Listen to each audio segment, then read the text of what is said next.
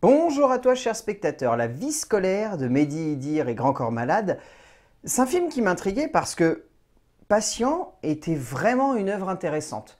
Pour un premier film fait par un slammer et un jeune cinéaste, ça, représentait pour moi presque un espèce de truc surréaliste. C'était vraiment, vraiment intéressant. Ça avait une patte, ça avait une identité, ça avait une manière de voir le cinéma et de voir, et de voir les personnages qui en fait étaient passionnants. Et en fait, je me suis dit, comment est-ce qu'ils vont arriver à nous offrir un deuxième long métrage qui aille non seulement dans la même direction que ça, mais qui en plus soit un petit cran au-dessus? Le résumé pour faire simple, au cœur d'un collège ZEP, zone d'éducation à problème, nous allons suivre tout simplement en compagnie de Samia son arrivée avec la nouvelle équipe de la vie scolaire au sein de la vie des jeunes adolescents. Et honnêtement, c'est un très joli petit cran au-dessus.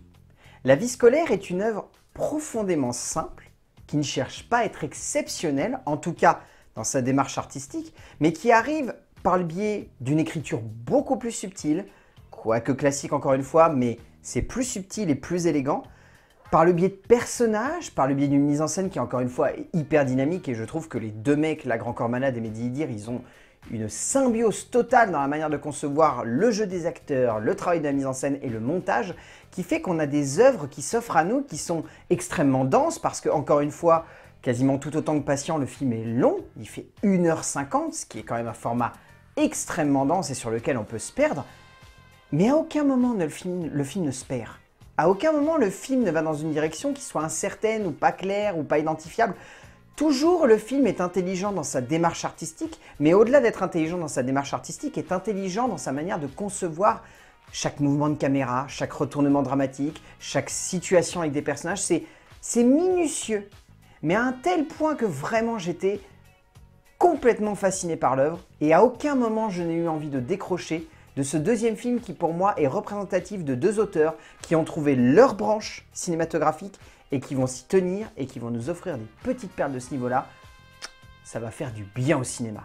On sent qu'en deux films, on peut parfois réussir de manière fulgurante à imposer un style et une manière de concevoir le cinéma, et surtout de montrer à quel point on a envie de regarder le 7 art avec un œil unique qui parfois suffit à donner une œuvre qui peut sonner comme classique, quelque chose d'atypique.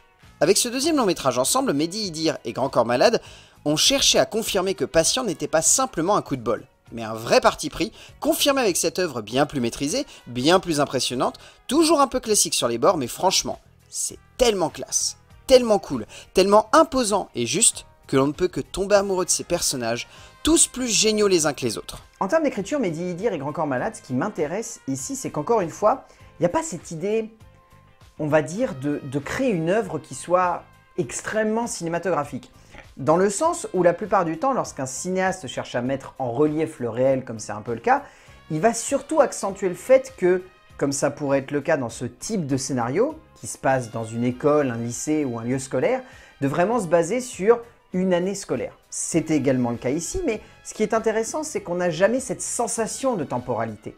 La plupart du temps, dans ce genre de film, on nous rappelle, entre guillemets, qu'il y a les vacances de la Toussaint, qu'il y a les vacances de Noël, qu'il y a les vacances de février, ou alors qu'il y a les examens de fin d'année, ou euh, un, un, brevet qui va se passer, enfin, tout plein d'éléments qui rappellent le contexte scolaire et qui rappellent, entre guillemets, la temporalité du contexte scolaire. C'est pas le cas ici. Mehdi Idir et Encore Malade, ce qu'ils ont envie, c'est avant tout qu'on se plonge la tête la première avec ces personnages. Et qu'est-ce qui marche le mieux dans ce genre de cas? C'est de perdre toute notion de base, entre guillemets, dramatique et narrative. À aucun moment le temps nous est rappelé, à aucun moment il y a besoin de nous dire qu'on est dans un conseil de classe, à aucun moment il y a besoin de nous dire qu'on va avoir telle situation qui va se pointer, les vacances ou l'examen de fin d'année. C'est très intéressant, mais en termes de dialogue, en termes de dynamique de personnages, de rapports, que ce soit conflictuels ou amicaux, toute l'idée en fait de cette écriture se veut avant tout de montrer que les rapports humains ne sont pas régis par des choses qui sont rationnelles. Et qu'est-ce qui est rationnel la plupart du temps? C'est le temps, c'est l'espace, c'est la manière avec laquelle on conçoit un lieu par rapport à un autre. Là, c'est pas le but. Tout est dans le même espace, tout est dans la même temporalité, tout se passe constamment dans un seul et même événement cinématographique, tout simplement d'écrire la vie. On sent que dans cette écriture, il y a bien plus que simplement une envie de créer du réalisme. Il y a surtout une envie de tellement s'accrocher à la réalité que l'on finit en tant que spectateur par oublier les notions de base d'écriture, soit la temporalité, le fil rouge par exemple, ce qui fait la base d'un scénario finalement classique. Ici, le classicisme que l'on pourrait reprocher à l'œuvre réside plutôt, comme évoqué avant, dans l'écriture des personnages, mais jamais dans la manière avec laquelle la narration avance et se pose devant nous. Et c'est certainement cela qui rend l'œuvre qui se présente ainsi face au spectateur tout simplement jouissive et entraînante, pour un moment de cinéma tout simplement prenant et fun, tout autant qu'explosif et dramatique. En termes de mise en scène, encore une fois, même s'ils parlent ensemble, qu'ils conçoivent un film à deux, je pense profondément que Mehdi Idir et Grand Corps Malade arrivent à bien se partager les tâches. Parce que le film est beaucoup trop complet pour que les deux se mettent constamment tout le temps derrière la caméra et qu'ils soient tous les deux à la réalisation, tous les deux à la direction d'acteur, tous les deux au montage. Je pense qu'ils ont chacun leur petit truc et qu'ils arrivent à le mettre en avant. Je pense que Grand Corps Malade a ce relationnel avec les êtres humains qui lui permet de pousser des acteurs dans leur retranchement. Je pense que Mehdi Dir, derrière, à travers le montage et la direction de la caméra, il arrive à mettre en relief certaines choses.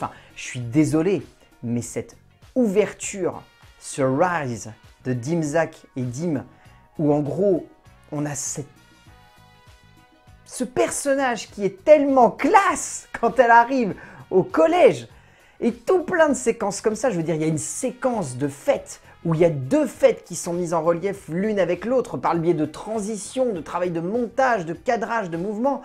C'est génial et c'est jouissif, mais c'est ce qu'il y avait exactement dans Patient. Mais alors là, c'est puissance, on pousse le curseur puissance 2000, quoi, c'est hyper classe. Constamment, le film a des idées de mise en scène, de manière de concevoir le montage, de transition entre les deux, de jeu entre des dialogues, entre des parallèles qui sont très très bien conçus. Tout le film est intelligent. Que ce soit dans la manière de jouer avec la comédie, que ce soit dans la manière de jouer avec le drame, les sentiments, l'émotion, les gags, tout est intelligent dans ce film en termes de mise en scène.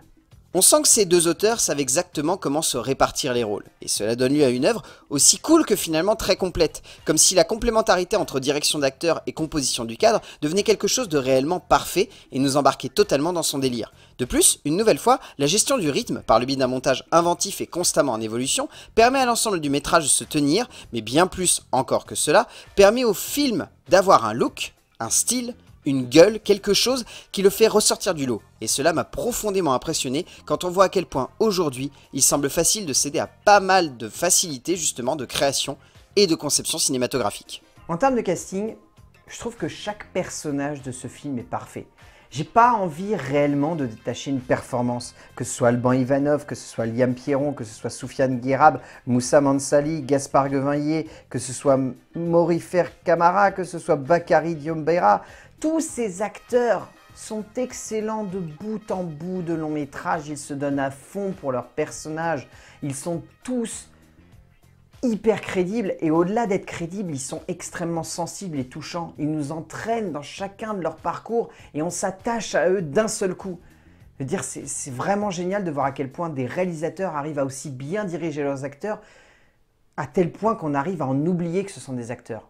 Ça, c'est le plus grand parti pris d'un film qui est le plus compliqué à faire. Et si on le réussit, l'œuvre, elle est quasiment parfaite à partir de ce moment-là. Je n'ai vraiment pas envie de détacher une interprétation plus qu'une autre. Même si Zita Enroth est vraiment plus présente que les autres acteurs à l'écran. Mais franchement, c'est tout le casting dans son ensemble qui rend ce métrage beau, mais surtout réussi. Au bout du compte, La vie scolaire est un film que j'aime profondément. C'est un film que je pense que je vais retourner voir parce qu'il dégage cette sincérité qui parle à tout le monde. Ce fait qu'on ait tous été dans un collège ou dans un lycée et qu'on soit tous un jour passés par la vie scolaire. Pour un retard, un truc volé, une heure de colle, j'en sais rien, un tout petit truc. Mais le fait qu'on arrive à identifier cet endroit-là et qu'on arrive à identifier ce milieu-là, et le fait que Mehdi Idir est encore malade et réussi à le rendre le plus crédible possible, le plus vrai, le plus simple, c'est ça qui fait que pour moi, La vie scolaire de Mehdi Idir et Encore Malade est un très bon film qui marche à 200% et qui nous entraîne à fond dans son univers. Et on n'a pas envie d'en sortir tellement c'est bien foutu. Donc si vous avez l'occasion de le voir, foncez, vous n'allez pas le regretter une seule seconde. A plus